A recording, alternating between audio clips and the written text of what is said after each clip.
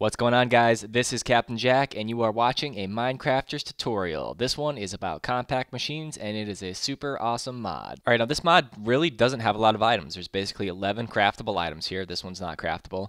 Um, but what you can do with this mod is absolutely amazing.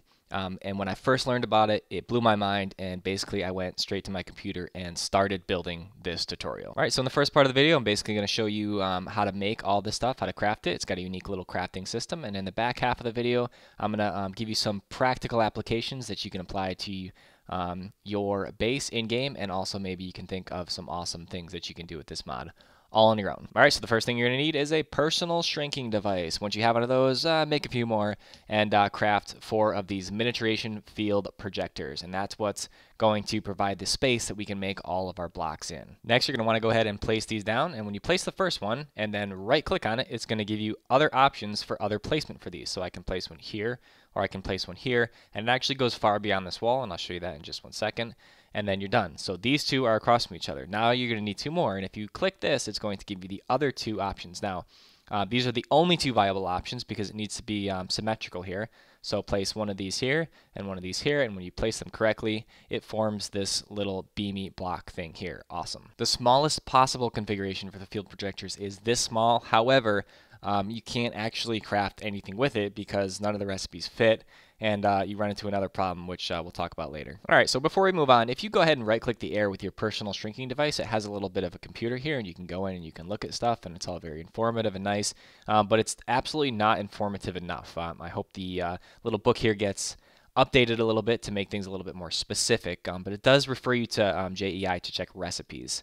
Um, so for instance, if we want to make a, let's make a tiny compact machine. If we go ahead and check the recipe, it's not, this is not very self-explanatory, okay? What you need is 26 of these uh, compact machine walls, and this is what you get from it, and this is what you need to throw at it to construct the multi-block, and these are the dimensions of the multi-block.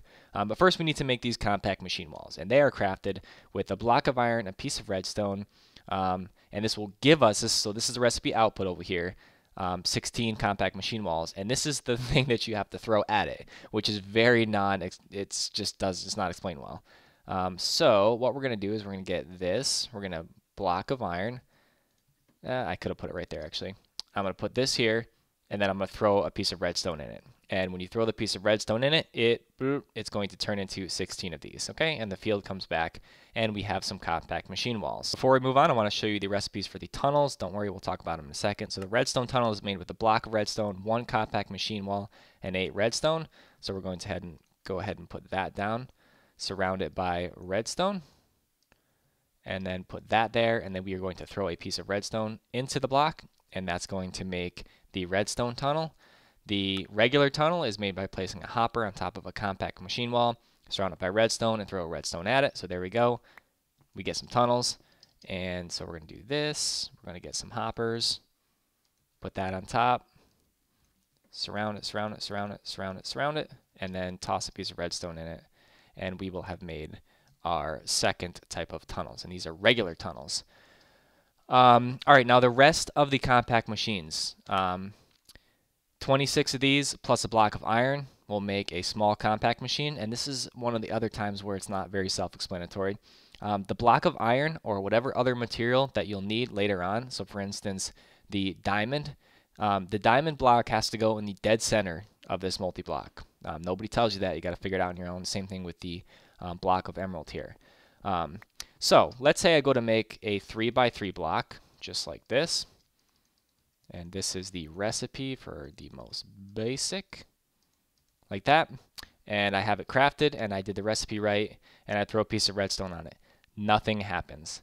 Uh, that's because, and this is what I, what I was referring to when I said I'll talk about it later, um, you actually have to have space inside of the um, orange area, the beaming area, for the redstone to pass through and hit the block. It like does not work.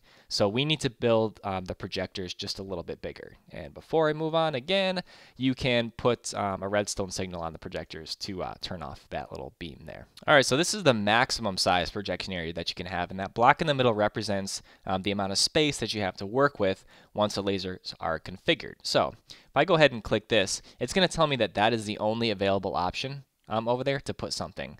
But what if I don't have any of these? Let me show you how many arrows actually come up. So I'm going to place this, I'm going to hit this, and you see that all of these possible spots are uh, places that I can put this here. So I'm going to put that there, and then I'm going to click this one, and then it's going to give me these two spaces over here. So these are the only available options. And uh, you don't, they're not in increments of like where those arrows just appeared. You can be a little bit more um, creative with them, um, which is what this is over here. So I have various different sizes. I have the max size, um, and it's actually, you can only go every other one. Um, otherwise, it's like odd in the middle there. So this is the configuration for all of the different blocks or boxes. Um, they're not all shown there because some of the holograms aren't actually working, um, but you can see down to like the smallest area box is in the bottom there, and you have the biggest area box um, is in the top. And uh, you can turn all these on and off with the redstone signal. All right, just to give you one more quick example, the largest um, size box here, the maximum compact machine, is uh, 98 compact machine walls, a block of emerald, and I have to throw an ender pearl at it. So I'm going to go ahead and grab an ender pearl. Um, there are two different like uh, tiers of these machines. So the first tier um, is all three by threes. So if I check these, all the recipes are three by three. So that's for um, the tiny one, the small one, and the normal one. And when I get into large, giant, and maximum, they become 5 by 5s. Okay, so the maximum size you ever have to build is a 5 by 5. Don't think you have to build this huge thing. Oops. That's not going to do anything. Okay, so like I said before, you need to put the emerald block in the dead center of this in order to make it work. Otherwise, it absolutely will not craft. So that's really important. Um, some people are going to wonder why their machine isn't crafting. Okay, and when you throw it in the middle there, it's going to take a little while and it's going to shrink down and it's going to make that um, maximum compact machine for us. All right, and boop, there it is. And my field comes back and I have my maximum compact machine. Awesome. All right, so so far I really haven't given you a reason to be super excited about this mod because you still basically have no freaking clue what's going on. Well, I'm about to show you how absolutely incredible this is. Basically, this compact machine represents a space. And uh, every time that you go inside of one of these machines, yes, you can go inside of them, it will create a dimension. So I cannot speak to how potentially devastating this would be to servers. Um, you're going to have to figure that out all on your own. Uh, but every one of these machines that you make and go inside of, as soon as you go into it, it's going to make a dimension. So we're going to get our personal shrinking device here, and we're going to right click. And when you right click, it creates a space inside of here. So that's when it creates the dimension. And here we are, we are inside of that box. Now we can't see out of it. This is just all we have to work with here. We have a three by three space inside. Um, and this is the smallest machine. So this is fantastic. Now, what can you do inside of this machine? Well, I can go ahead and put down a redstone lamp. Uh, maybe three. Awesome.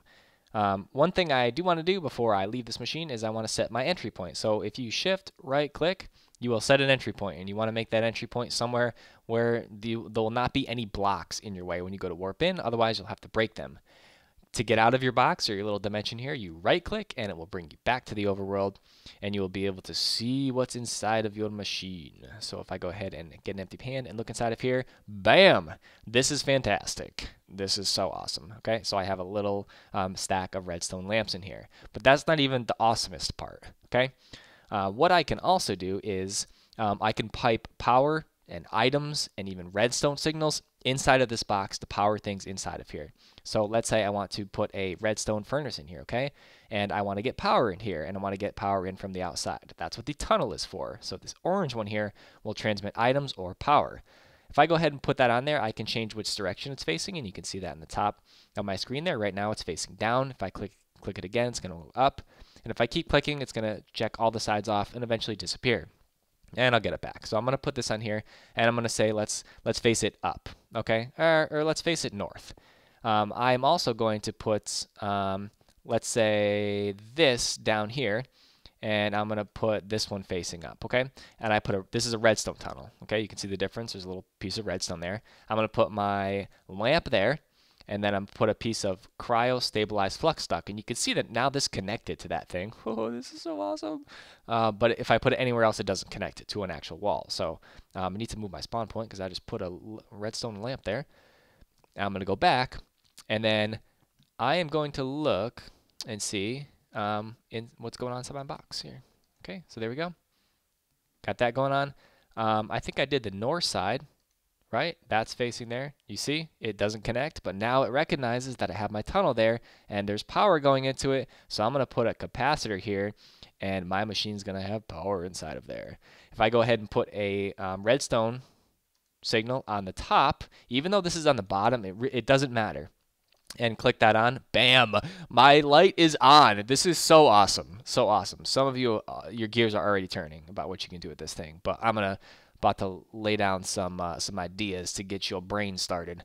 Um, one thing you can't do is you can't put like another one on a wall um, because you can only have one.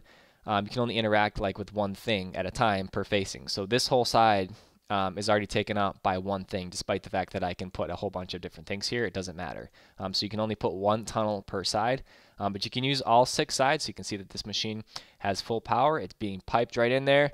And uh, holy crap, this is so awesome. This is so awesome. Turn up the awesome. All right, so here's a little example of a machine I set up. This would be uh, like an auto ore processing box here. So you could have a whole bunch of different machines um, pulverizing and then smelting a whole bunch of different ores all in one box and have all the contents being piped out on the other end.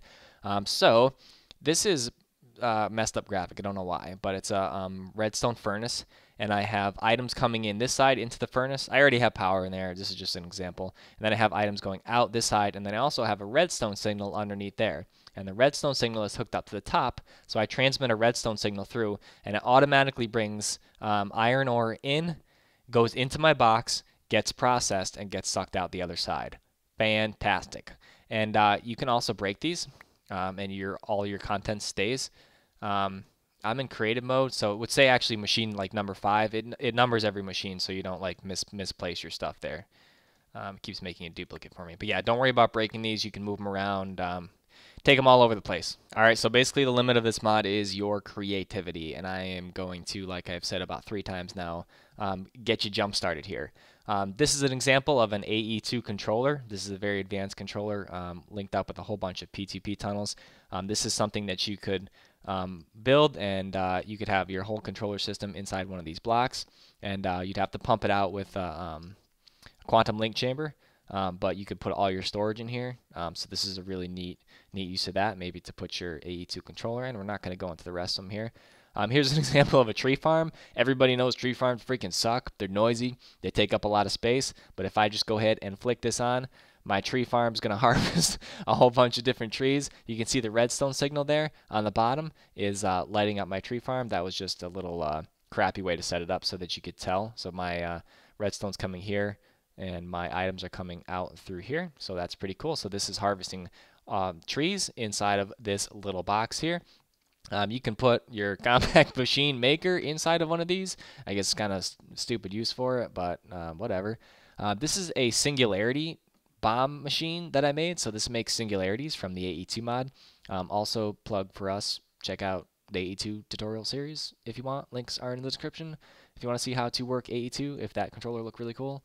Um, moving on. Um, so yeah, this uh, this is a singularity machine, and I actually have um, have it so that it's set up to autocraft singularity. So if I go ahead and autocraft the singularity, what it's going to do is it's going to drop the singularity it's going to drop TNT. You see it there? You see the redstone dust? Boom! Singularity comes through, okay? So these are like, these can be kind of uh, an eyesore on your base. Um, so if you want to do a little TNT explosion setup in your base to make singularities, you can do that. Um, this is wishful thinking. This absolutely does not work, but it would be so awesome if it did. You can actually fit an entire Tier 6 environmental tech um, void miner inside of one of these. Uh, but you can see that um, since there is no bedrock, in the little dimensions that it actually will not work. So this would be awesome if it worked. Uh, maybe you have a block in your mod pack that you're playing um, that's a bedrock replacement block that will make one of these think it's bedrock. If you do, that would be awesome. Imagine having that whole thing. Imagine having your whole ore mining setup inside one box in your base being pumped directly into your AE. Doesn't get any better than that. Um, here's some uh, immersive engineering multi-blocks, and I didn't build any of the big ones because I was too lazy. Um, but sometimes these can be cumbersome. Sometimes the coke ovens can be ugly, and you don't want them uh, clogging up your base. So throw them inside of this box, pipe all your junk in there. Um, you can you can fit a Draconic Evolution uh, energy core inside of here. These are super awesome uh, multi-block energy storage uh, blocks, and you can check out our tutorial on that. Um, great place to put an IC2 nuke if you really want to be super safe. I mean, come on. Uh, this doesn't actually recognize um, IC2 cables, which is a little bit of a bummer, but nobody really likes IC2 anymore, despite the fact that I kind of like it. Um, put your smeltery in here. I hate smelteries. They're ugly, they're cumbersome, they're big, um, they take up a lot of space, so you can jam uh, you can jam uh, smeltery inside of here. This does not work, okay, like I said before.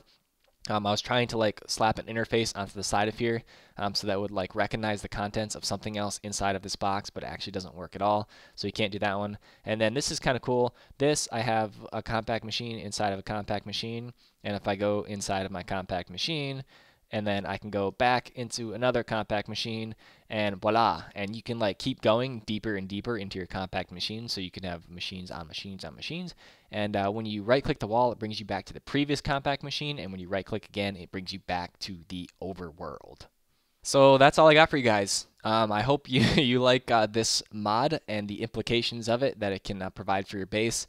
Um, I know this um, is kind of uh, met with a little bit of resistance on, on the one hand where people like big sprawling massive bases and they like um, all of their machines and stuff to be visible and everything. So this might not appeal so much to that crowd, um, but to the crowd that wants to get a lot of stuff done in a really small amount of space, Compact Machines is a fantastic mod. Highly recommend it. Thank you for watching, guys. If you're looking for more info um, about this video, go ahead and check out the description uh, below there for mod pack version, for mod version. Um, check out our Discord channel. We're sometimes hanging out in there. Ingram's hanging out in there more than I am. Um, live chat with us. Enjoy everything. Get ready for more videos, guys. And as always, stay poised.